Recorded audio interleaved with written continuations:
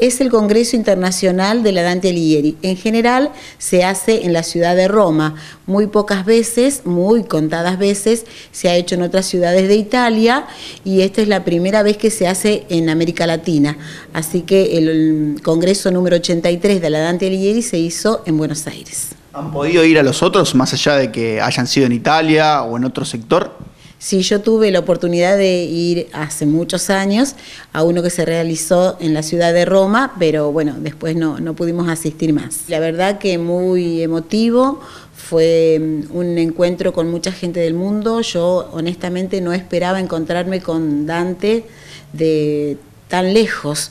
Había gente de Canberra, de Ciudad del Cabo, de Túnez, de Michigan, de México, bueno, de los países vecinos, Paraguay, Brasil, Perú, Bolivia, Chile, Uruguay.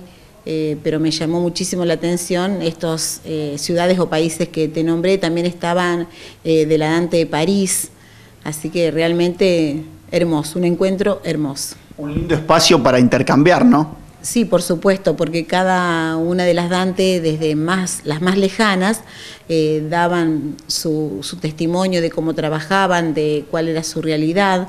Una de las que me llamó más la atención fue la Dante de Líbano.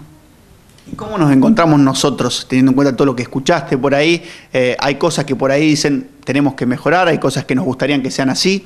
Siempre hay cosas para mejorar, siempre pero mm, me parece que estamos muy bien porque además, te comento, hay casi 500 Dante en el mundo y casi 100 son argentinas, así que para que vos te des una idea de la proporción eh, en cuanto a la difusión de la lengua y la cultura italiana en el mundo, eh, cuán importante es en nuestro país. Tengamos en cuenta también que hay muchos inmigrantes italianos que han llegado a la Argentina. Y yo creo que sí, hasta la gente de Palazzo Firenze, que así se llama la Dante Central, eh, se sorprendieron de la cantidad de gente de la Argentina que había llegado al Congreso.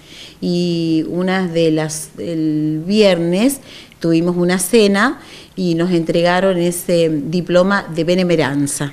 Dicen que los mejores recuerdos son los que uno guarda en el corazón, pero bueno, por suerte y por la tecnología que tenemos en estos momentos, eh, tenemos fotos, videos que todavía no he podido compilar, eh, algunas han sido publicadas a través de las redes sociales de nuestra Dante, pero bueno, todavía tengo algunas que mostrar. Bueno, me decía recién que muy pocas veces se da la oportunidad que sea aquí en América Latina. ¿Saben si el año que viene podría repetirse? No, no, ya sabemos que la sede de, para el año que viene va a ser en Bari. Así que menos mal que fuimos a esta. Sí, ojalá pudiéramos ir y bueno, eh, de hecho el presidente de Palazzo Firenze se comprometió en tratar de conseguir algún descuento para que pudiéramos asistir la mayor cantidad de personas.